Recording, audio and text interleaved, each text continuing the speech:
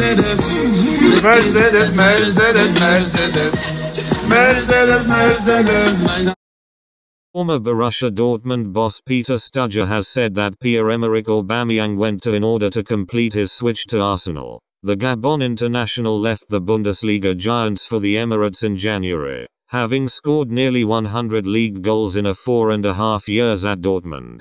But the former Dortmund coach has claimed that the goalscorer was so adamant that he wanted a move to North London, that he missed team meetings and even refused to run in training.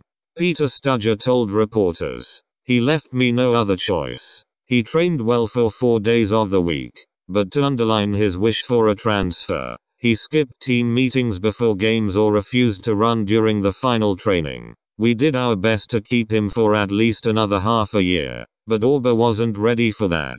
Honestly, I got along well with him although he kept me pretty busy for four weeks. But Auba personally apologized to me before joining Arsenal. He told me that his behavior had nothing to do with my person and that he had felt my support. Don't forget to like and subscribe.